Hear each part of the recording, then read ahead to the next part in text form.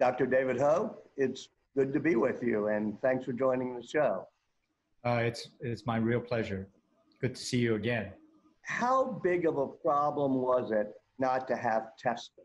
It's huge. Without the tests, basically the healthcare system is operating blind, um, not knowing the magnitude of the uh, epidemic, and it's it's inexcusable. Uh, we watched China struggle for a good six weeks, uh, never realizing, fully realizing that this is going to hit us next. And um, we're playing catch up. And uh, although that it's picking up now, uh, our hospital here in New York could uh, now uh, run a thousand samples a day. a few days ago, it was only 50. And that's. But what type of tests are those? And should we be having antibody tests, not these tests that take overnight to get a result? Yes, we need all sorts of tests. So the tests that folks are getting now are called PCR tests, and that's done on swabs from the nose or the mouth. And we're looking for the viral RNA. And, and that's very useful, and that's what's been applied. But traditionally, for fighting infectious diseases, we also get antibody tests. And antibody test will tell you whether a person has been exposed to the virus and the body has mounted an immune response. And that's extremely useful, and as particularly for surveying a population. Uh, and, and that's what we're rushing to do, in fact, to see if we could get such tests out to huge numbers and truly understand the penetrance of this virus into the community. Why don't we have an antibody or antigen test yet out there? It's an aspect that's uh, inexcusable. Uh, the tests are available in China, in Korea, in Europe, uh, and we're just in the process of rolling them out, and the manufacturers are all from abroad. And so we're trying to uh, get this out as quickly as we can uh, this coming week. So, when will those tests be out where I can just go to a drugstore and say, give me a strip, or go to a doctor and have it done in half an hour? Well, we're pushing the FDA to see if they would relax their rules so uh, such uh, useful tests could be applied to a much larger population. But you say you're pushing the FDA. Why is the FDA slowing this down? Well, it you know obviously they're trying to do their job. They want to make sure the tests are not going to give false results and, and that would lead to mismanagement and and and poor control of the epidemic. So they are trying to do their job, but on the other hand, the delay is also uh, causing significant harm because we're we're largely blind uh, to what's going on out there in the community. Do you have at Columbia Medical School, where your lab is, do you have antibody tests that you could be doing? Yes. Uh, so we have accessed uh, rapid point of care diagnostic tests from several sources in, in China, in Korea, and, and other places. And uh, we, we are waiting for the go ahead. Um, and, and now it, we're just running uh, on a small scale in the laboratory uh, to do what FDA considers uh, validation. And you say you're waiting for the go ahead. Let me press you once again. Do you think the FDA and other authorities should give you that go ahead now, today? You know, we, we push every button we can. Uh, our connections have taken us all the way to the, to the White House to see if we could uh, relax the rules and, and proceed. It's pretty clear that the attitude is, is we'll let you do it as soon as possible. And, and so it's coming along. Uh, it's quite different from a week ago, but um, uh, we still don't have the final go ahead yet. Are there any things holding up the manufacture of these tests? Like a pharmaceutical company is willing to just churn these out once they're available? Um, I know the numbers from a one particular source. Um, and and I was told that they have the capacity to crank out a million tests a day. Wow. What did you think when Jack Ma, the founder of Alibaba, the Chinese billionaire Jack Ma, started donating 500,000 tests to the United States. Uh, my first reaction is uh, how embarrassing for the US, for us to be in this situation. We are a rich nation with a proud history, and uh, we pride ourselves as having the best healthcare system. And now uh, we are short of tests and we're short of masks, we're short of protective equipment uh, for, for our healthcare workers. Um, what a tragedy. Uh, we should not have been in this position. We should have been well prepared, and this is no doubt a failure in leadership and preparedness. And that failure in leadership was at the CDC and at the uh, Washington, D.C. administration level? I think I would have to put this at the top of our government. On the other hand, at the local level, I have admired various institutions, universities, uh, schools, public schools, uh, businesses, and other institutions struggle and fight this epidemic in a ver- most proactive way. And, and, and, and I'm, I'm really uh, uh, grateful and, and impressed. Let's move for a moment from testing to treatment. When I was at Time Magazine, as I hope you'll remember, we made you Man of the Year for having come up with a combination treatments for HIV AIDS what do you think are the most promising treatments for people who already have the disease that are going to be coming along for the coronavirus and COVID 19?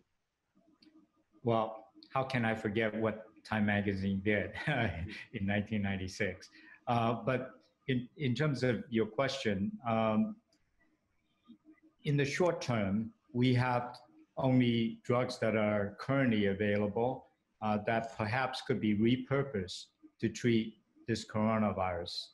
And uh, so we have one in hand, for example, it's called remdesivir. And it was initially uh, developed to treat Ebola.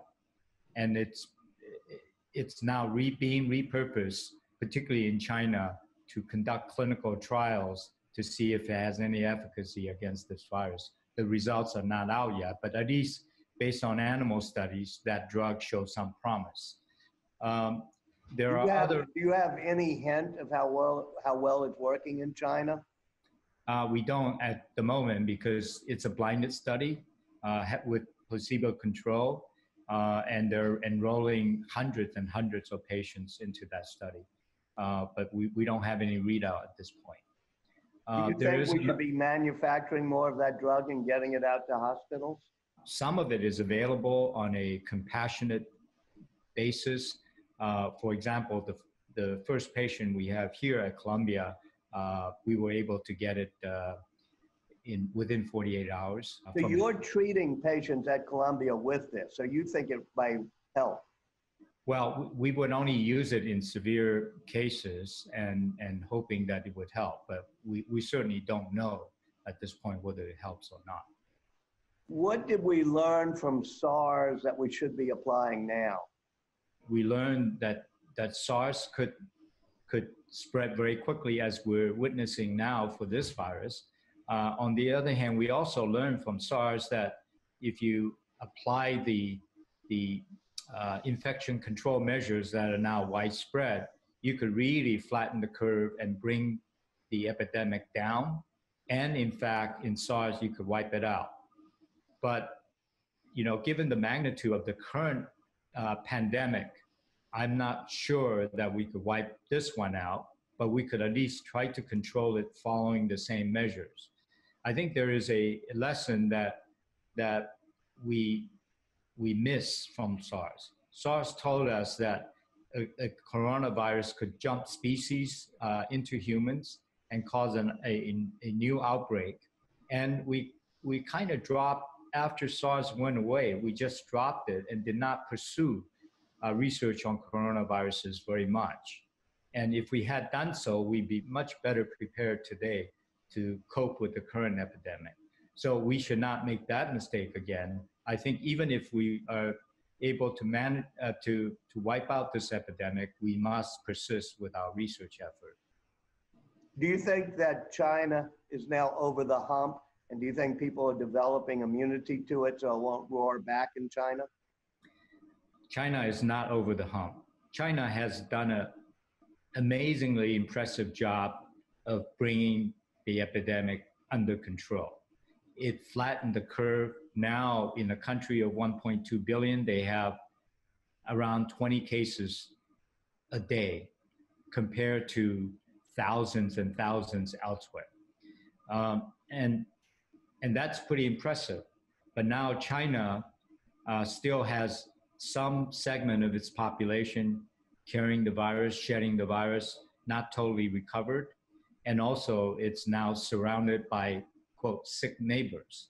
And if it should relax the draconian measures, uh, surely the virus will reemerge. And so the question is, what could China do to mitigate the spread of this virus uh, in a sustainable way? What they have done is, is impressive, it's, it's outstanding. However, uh, what, what's its next move? And I, I think we're all waiting to see that. Do you think there could be new waves of this virus in China and new waves in the United States if and when the United States gets it under control? Yes, I, I, think there will be new waves hitting China, and and if we manage to flatten the curve, uh, we need to figure out a a effective but sustainable strategy uh, to to mitigate further spread. Uh, we could flatten it, but but if we are applying practices that are not sustainable, uh, we will simply delay the reoccurrence uh, of the virus uh, spreading in our population. What would be a sustainable strategy to keep it from recurring? I think that's a question that society as a whole uh, needs to answer.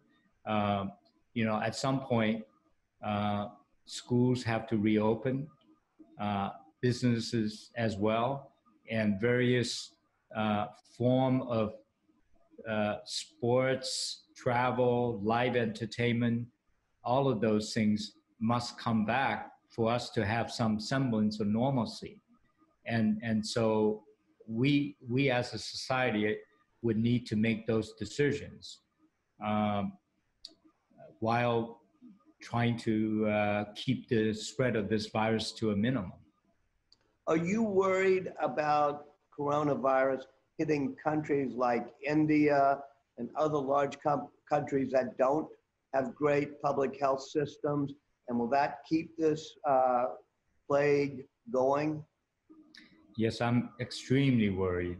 Uh, what we're seeing now is the first wave in China coming to a low level, and then the second wave hitting Korea, uh, Italy, Iran, uh, and then third wave hitting the rest of Western Europe and, and US. And then US, we have in, initial waves on the coast, but now in, in the coming days, another big wave hitting Middle America. And this is going to continue to spread across the globe.